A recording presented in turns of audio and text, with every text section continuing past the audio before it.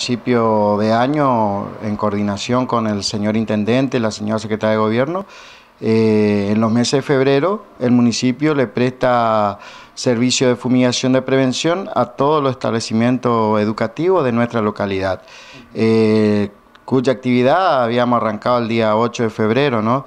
En total hemos realizado eh, fumigación en 32 establecimientos educativos con sus respectivos nenis, jardín materno.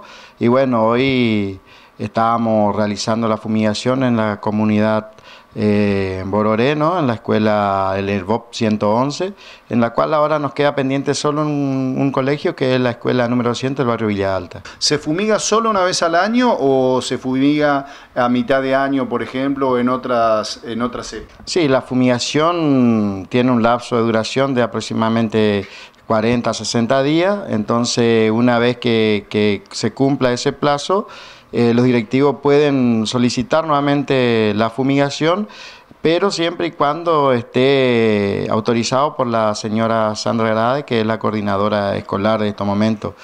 La fumigación no es la solución de del, del problema, ¿no? Porque no obstante a eso y primeramente eh, se hace un trabajo previo con el Departamento de Parquización Municipal, en las cuales ellos hacen el desmalezamiento, ¿sí? Y la tira de basura y poda de rama, y después nosotros complementamos esa actividad con la fumigación.